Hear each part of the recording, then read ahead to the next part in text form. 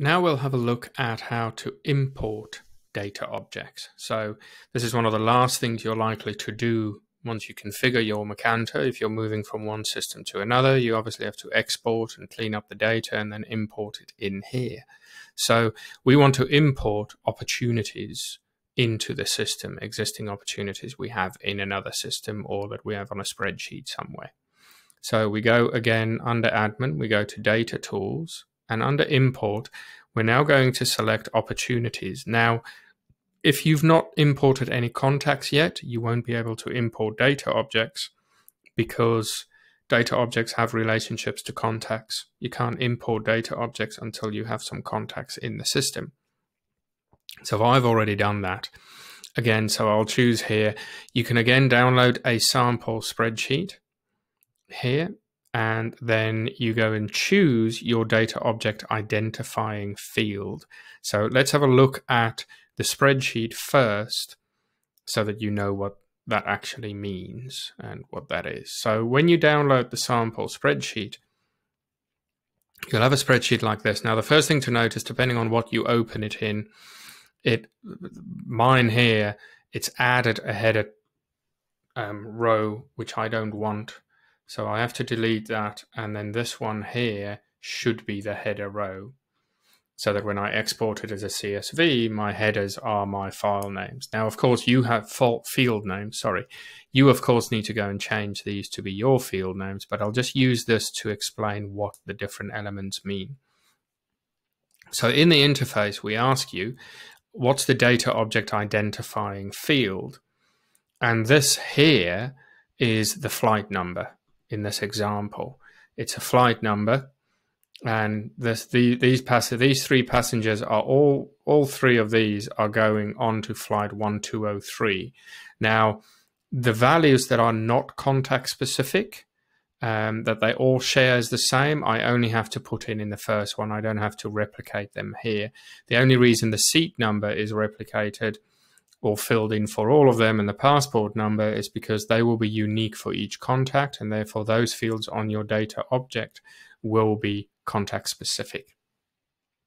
So for us, for this sample file, it's flight number. So what this will do is it finds this flight number and then any contacts that follows it in the list will be connected to the same flight number until it sees another flight number. And then if there's a blank, it assumes it's the most recent one that it saw until it sees another one. So if you had six flights here, you would enter six flight numbers. Um, so that's what that identifying field is for. Then the status is just once you've built some automation, if you're bringing data over, do you want it to trigger automation straight away or only when someone starts working on it?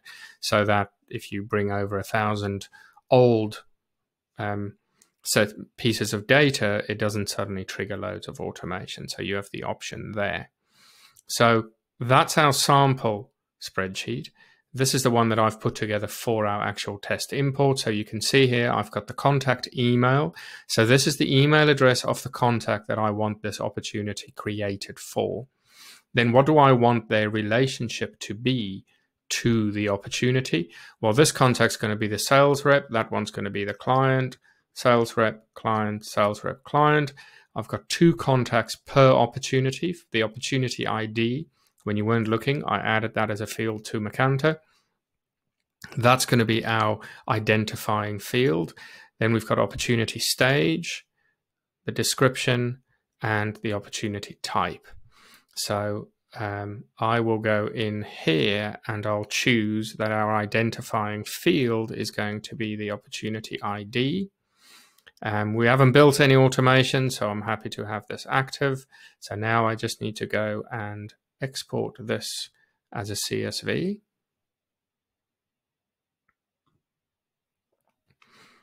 And that is fine. Desktop, and this is my opportunities. Export that.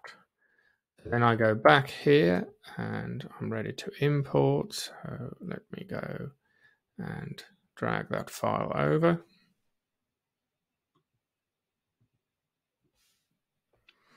and upload. and that'll then process. Now, of course, this is a small file, so it'll go quickly, but same as with the contact import, it'll tell you that it's busy importing. It runs it as a background service. You can carry on doing what you were doing, um, and you'll get an email when that's finished. Now, I dare say, this being um, such a small list, that that is more than likely already finished. And for contact one, we can see we have our opportunity, we have our relationship as sales rep. Um, that is all in place there, and we are good to go. And if I go and look at another one, let's go for this contact here. Then again, my opportunity has been imported and that's all good. So that is how you import um, your data objects um, into Macanta.